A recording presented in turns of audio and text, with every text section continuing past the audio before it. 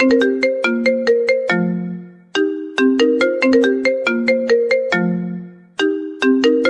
पूरन, आपको किसी ने दिल से याद किया है please pick up the phone